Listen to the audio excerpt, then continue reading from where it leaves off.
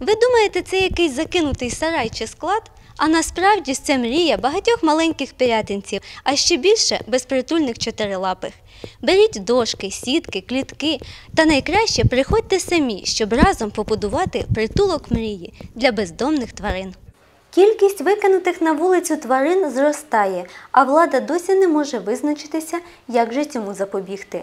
Якщо у великих містах вже діють гуманні методи, стерилізація, щоб позбавити можливості розмножуватися бездомних тварин, то в нас поки їх відловлюють. Ясно, що потім їх чекає смерть. Інна Гребенюкова та Марина Грицай познайомилися в інтернеті. Об'єднала спільна мета допомогти тваринам. Зараз у кожної з дівчат більше десяти песиків і котиків удома. А в цьому приміщенні волонтерки планують збудувати тимчасовий притулок для безхатьок. Будет это наподобие полтавского пункта передержки бездомных животных. То есть как приют это создаваться на данный момент не будет, потому что нету финансирования, нету, э, там очень большие критерии. Что такое пункт временной передержки? Это пункт, куда мы можем забрать покалеченных животных, животных, которые нуждаются именно сейчас в помощи. Мы можем их где-то прикрыть, где-то проводить им лечение, э, прокалывать, опять же, какие-то антибиотики, что-то, обрабатывать, и искать им новых хозяев и дом, э, но при этом они все находятся в безопасности, будем говорить так. Они не на улице, их не могут убить, отравить, переехать. То есть я сплю спокойно. Так, на даний час у нас іде оформлення документів на базі Київської е, зоозахисної групи Зооплатформа. Ми будемо як її осередок в місті Пирятин. Також, тобто, в нас буде свій керівник, тобто керівником буду я е, Даної організації, і також у нас буде свій статут відповідний. Ну, все те, що прописано законодавчо, повинно бути у громадській організації. Пункт перетримки буде створено на приватній території, отож усі тварини будуть ніби домашні, поки не знайдуть нову сім'ю.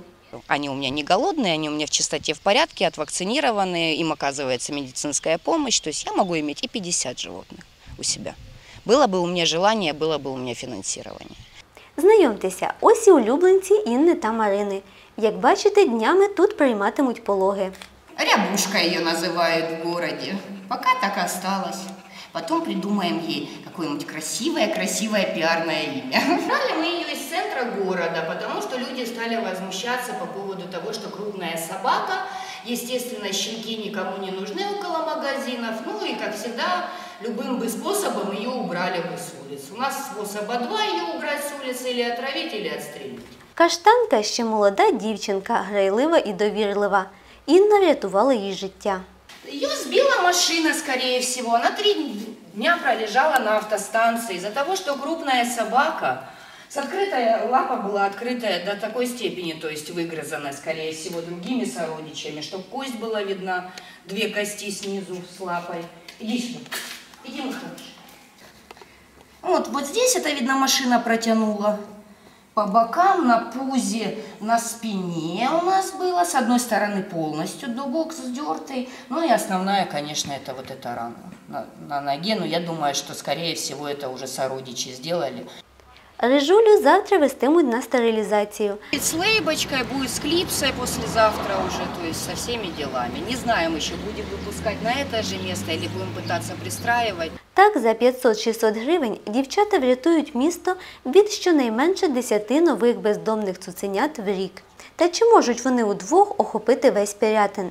Долучайтеся, тваринам необхідна їжа, мисочки, солома, для будівництва перетримки, будівельні матеріали, клітки та робочі руки. Разом у нас усе вийде.